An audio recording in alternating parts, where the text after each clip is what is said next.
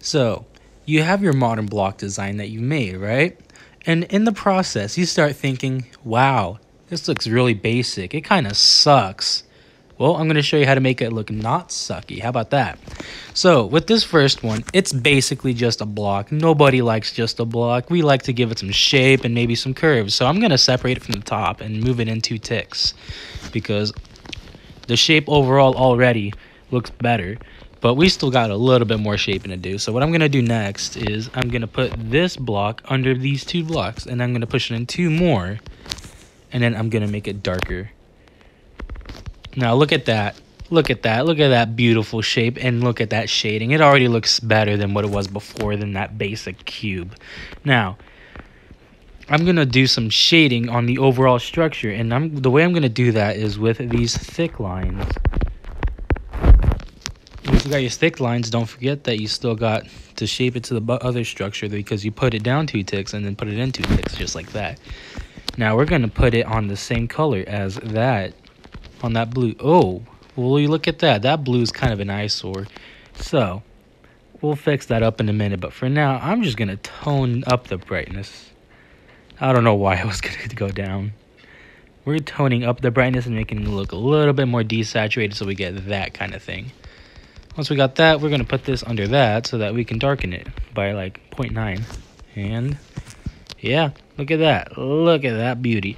Now this blue is like very blue. Nobody likes a blue base. It looks very blue and like you didn't even try. So we're going to do this. Look at that. Look at that. That's already so much more better. So now that we got that out of the way, I'm going to start up here because up here is a lot more interesting than down there. Sometimes down there is really interesting, but we don't talk about that. Wink, wink. So we're going to put this on that color, and we're going to keep the same values. I don't know why I deleted it. I'm just so good at the game. Yeah, wrong color. Ooh, we're going to need to desaturate that more. Well, what we want this to look is like make sure it stands out more than the yellow because this is supposed to look pretty white. So, not about there. Now we're going to copy and paste and then put it under it and then we're going to make it slightly darker maybe. Nope. We're just like going to slightly alter the hue. Don't do it too much because it's not going to look good. Now, look at that we already have a better structure. Shading will always help out your your the way your structure looks overall because it gives it some light and some actual depth to it. So, yeah. Now, you can play around with this kind of structure. So, say I want something that looks like that. So, we got to shape it to that, which we can easily do just by doing this. And voila you can do down there as well if you feel like it. I'm not feeling it. Now, you got this shape, right?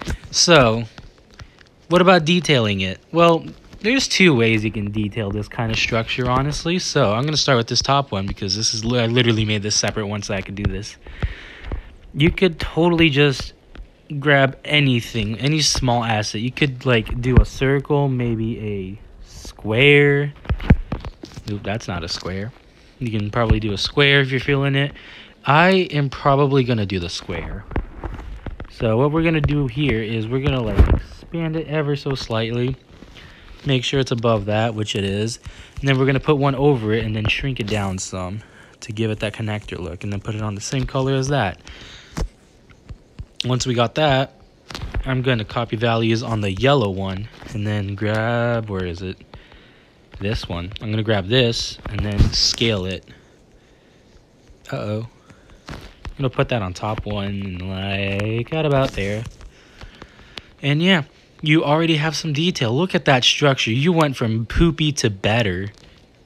Now, with this one, you could probably do something similar to that, to the one above this one. So I'm to do exactly that. You can just copy and paste the connector and put it right about there. And then don't forget to add the other end because you need two ends. Look at that. Look at that beauty right there. She's looking fine as heck.